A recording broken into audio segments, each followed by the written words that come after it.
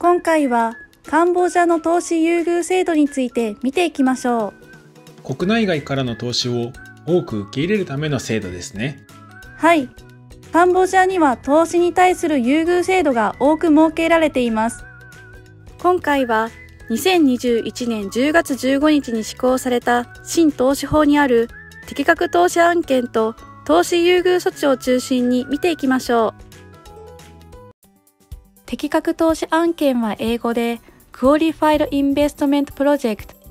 通称 QIP と呼ばれています。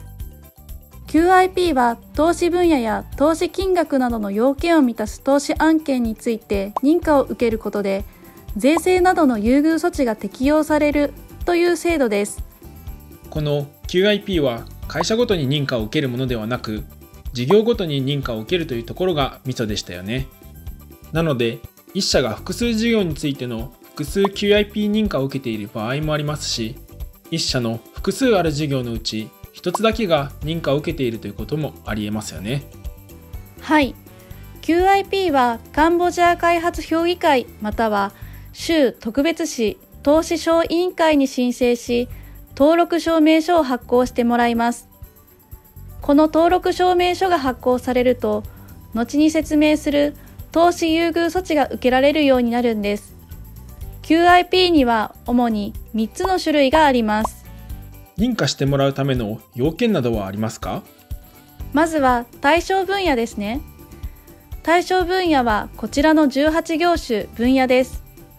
ハイテク関連、農業、サプライチェーンに貢献する産業など、カンボジアがこれから力を入れていきたい分野が列挙されています。この18業種に当てはまらなくても、カンボジアの発展に貢献するプロジェクトであれば、認可対象となり得そうですね。はい。適用されるための具体的な要件やプロジェクトの QIP 適用期間の決定方法などは、閣僚会議令で定められることになっています。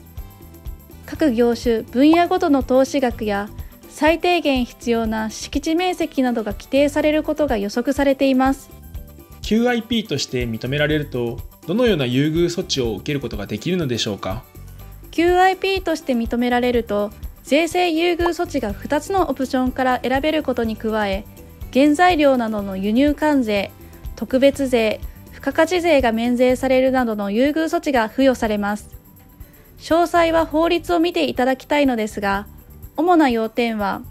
オプション1は認可された免税期間の事業所得税が免税となります。さらに、免税期間終了後6年間は一定の割合で事業所得税の減額が適用になります。僕の会社がもし9年間の QIP 認可を受けていたら、事業所得税は9年間の免税、その後の6年間は減税になるわけですね。なかなか思い切った減免ですね。はい。オプションには資本的支出について特別償却が可能です。また、特定の費用については最長9年間にわたり最大200%の控除を受ける権利などが定められています。ただ、特定の費用にどのような費用が含まれるのかは閣僚会議令の発表を待っているところです。輸入なども免税になるそうですが。はい。QIP の種類によっても少しずつ異なるのですが、例えば輸出指向型 QIP の場合を説明しますね。カンボジア国内で生産し、輸出する事業に用いる建設資材、建設機器、生産設備、生産資材は、輸入関税、特別税、付加価値税が免税になります。カンボジアは国内の生産資材調達が課題でしたが、生産資材の輸入が免税となると少しは生産者の負担が減ることになりそうですねはい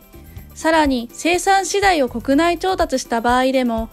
付加価値税の免税が適用され研究開発人材育成福利厚生拡大などに使う費用についても課税標準から150%の控除を認めるなどたくさんの優遇措置があります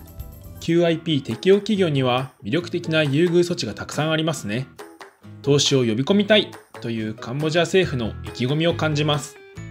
カンボジアへの投資誘致を担当されているカンボジア開発評議会の即チェンダーソピア首相補佐特命大臣から日本企業へのメッセージをいただきましたのでご覧ください。 នេះចង់ចែកម្លែកថាអ្វីបិទយើងខ្ញុំបានរៀបចំច្បាប់ថ្មីនេះសហគមន៍វិទ្យុជប៉ុននឹងមាន សេចក្តីរីករាយស្វាគមន៍ទុរជនជប៉ុនដែលមានបំណងចង់ស្វែងយល់បន្ថែមទៀតខ្ញុំសូមអរគុណ